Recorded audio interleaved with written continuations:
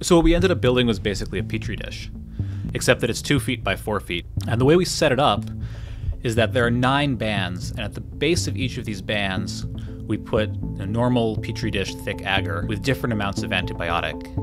On the outside, there's no antibiotic. Just in from that, there's barely more than the E. coli can survive. Inside of that, there's 10 times as much, 100 times, and then finally the middle band has 1,000 times as much antibiotic. And then across the top of it, pour some thin agar that bacteria can move around in. The background is black because there's ink in it, and the bacteria appear as white. First, you see they spread in the area where there's no antibiotic, up until the point they can no longer survive. Then a mutant appears on the right.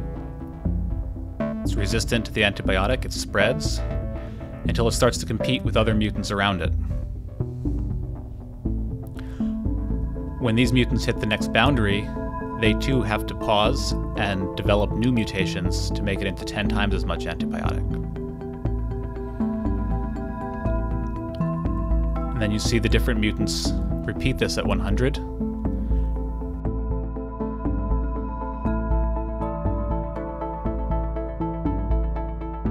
And after about 11 days, they finally make it into 1,000 times as much antibiotic as the wild type can survive.